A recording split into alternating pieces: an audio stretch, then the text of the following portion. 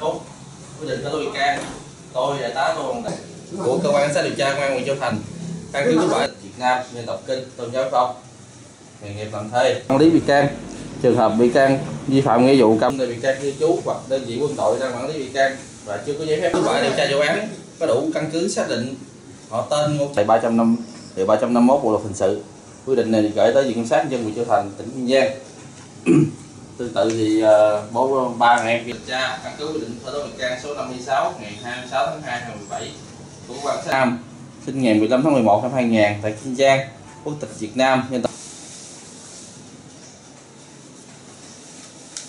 cư trú tại ấp Sẹo Cu xã Bàn Tân Định huyện Dòng Nghiền tỉnh Kiên Giang tại cái ngày 26 tháng 2 Sơn với em được thôi. Còn uh, sơ như vậy rồi mới ờ, đi chơi rồi rủ nhau đi chơi. Còn cái đi chơi về nhà em nhậu tiếp bây giờ. Em ờ, khoảng ờ, sáu mươi lá.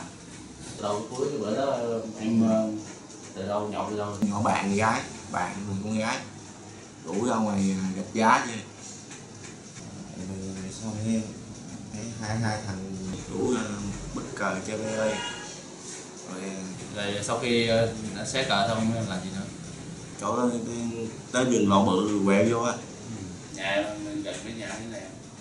Nhà hồi trước nhà ở đây mà lên Sài Gòn lâu. Họ tên luôn. Cho Phúc quyết định khởi tố bị can tôi đại tá tô bằng của cơ quan cảnh sát điều tra công an huyện Châu Thành. Căn cứ kết quả Việt Nam dân tộc kinh tôn giáo phong nghề nghiệp làm thuê. Quản lý bị can trường hợp bị can vi phạm nghĩa vụ công nơi bị can cư trú hoặc đơn vị quân đội đang quản lý bị can và chưa có giấy phép kết quả điều tra vụ án có đủ căn cứ xác định họ tên ngôn tại 305 điều 351 bộ luật hình sự quy định này gửi tới viện kiểm sát nhân dân huyện Châu Thành tỉnh Kiên Giang. Tương tự thì uh, bố ba ngày em kiểm tra căn cứ quy định khởi tố bị can số 56 ngày 26 tháng 2 năm 2017 của quan sát. Nam sinh ngày 15 tháng 11 năm 2000 tại Kiên Giang quốc tịch Việt Nam nhân tộc cư trú tại ấp Sẹo Cu xã Bàn Tân Định huyện Dòng Nghiền tỉnh Kiên Giang. Tại cái ngày 26 tháng 2 sơ mà đi thì không có Sơn với em được thôi. Còn uh, sơ như vậy rồi mới ờ, đi chơi rồi rủ nhau đi chơi. Còn cái đi chơi về nhà em nhậu tiếp bây giờ. Em ờ, khoảng ờ, sáu mươi lá. Đầu cuối cái bữa đó em ờ, từ đâu nhậu từ đâu? Nhỏ bạn gái bạn cùng con gái rủ ra ngoài gặp giá chứ sau đây thấy hai hai thằng rủ ra bất cờ chơi bê ơi.